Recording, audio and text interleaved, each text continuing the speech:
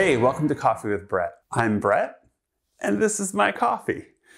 It's a Starbucks because honestly, I didn't have the energy to make a coffee after I went for a run this morning.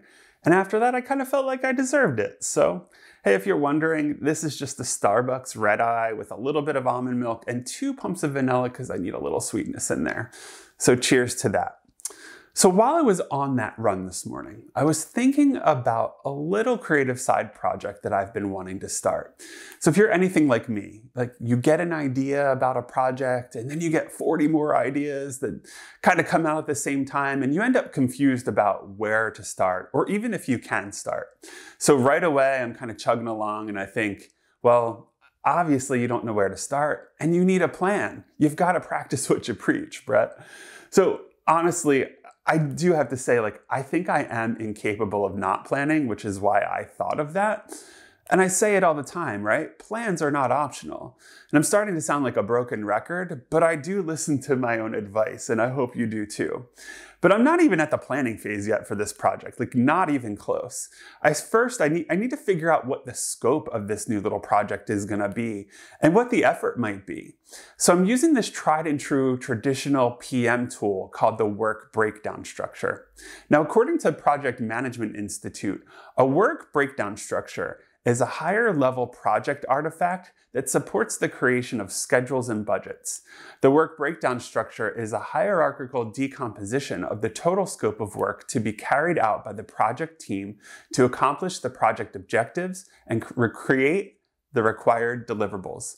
Wow, I almost didn't get through that one. I love delivering those formal definitions. They make me feel so prestigious. But also, they can be a little confusing. I mean, let's be honest hierarchical decomposition, too formal for me. So in human speak, a work breakdown structure is an accounting of all the tasks that you need to complete in order to successfully deliver your project. And the bonus when you create one is that it can help you to develop an overall project estimate and even a plan. And that's a double bonus, right? And a total time saver. Plus, they're really easy to create and they can be done visually or even in a list format. It's totally your world when you're creating a work breakdown structure. And really, with a lot of project management, you have to do what makes you comfortable and was going to lead you to success. So, on screen here is an example of a traditional work breakdown structure. As you can tell, it's for a post COVID block party. Am I being too hopeful? I think not. We're going to get through this.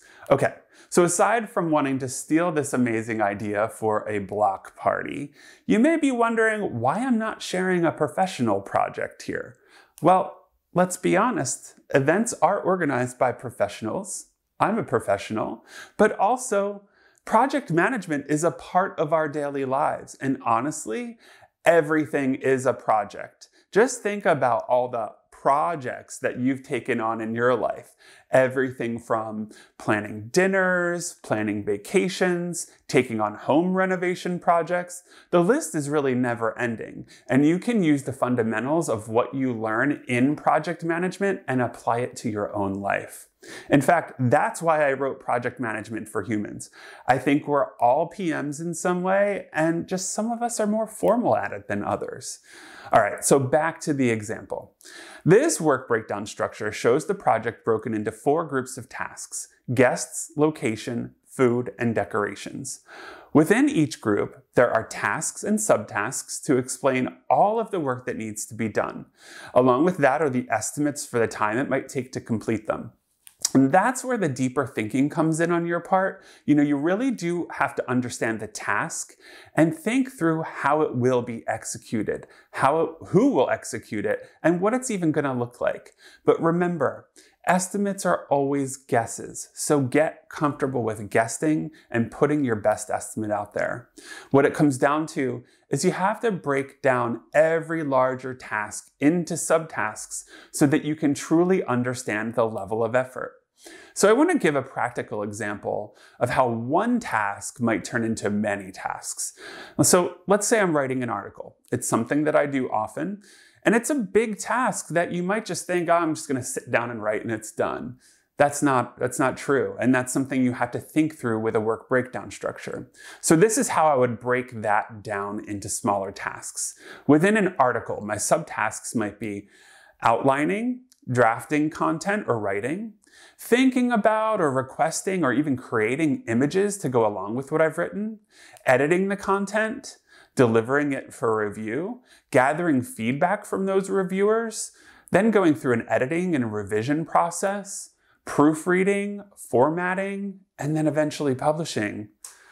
It's a lot of work, right? It's a lot more than you might have expected. But the idea here is to list every imaginable task to provide an estimate on what it might take to complete each on its own. From there, you can add up all of the values for your estimates and get a sense for the overall time needed for the project. So I want to say, if this looks or feels complicated to you, it's okay. Adapt it to your own style. I actually happen to like lists. So if I'm at my desk and I need to pull together a quick estimate or a work breakdown structure, I'll just jot down a list with some quick estimates. I also want to mention here that your work breakdown structure for a similar event or project, like let's say you do that COVID, post COVID party, it might not be the same as mine. And that's okay too. You know why? Because we all work differently. And that's why listing out the steps and sub steps or tasks and subtasks can be really helpful to talk about the things that are unique to your team, to your project, to you. You know, those things could be process, timing, and of course, the way that you do the work. It's all going to impact your estimates. Side note here when you are estimating projects, you can use any time value you'd like. Personally, I tend to use hours on work related projects and days for home projects. To me, Estimating hours is a little more difficult, but it will absolutely get you a more accurate and specific estimate that you can benchmark, especially if you're tracking your tasks in a time tracking system and you want to look back and see how you did with your estimate. But again, you have to do what works for you. You might not care about hours in a day. You know, it's your world. Again, do this the way that works for you.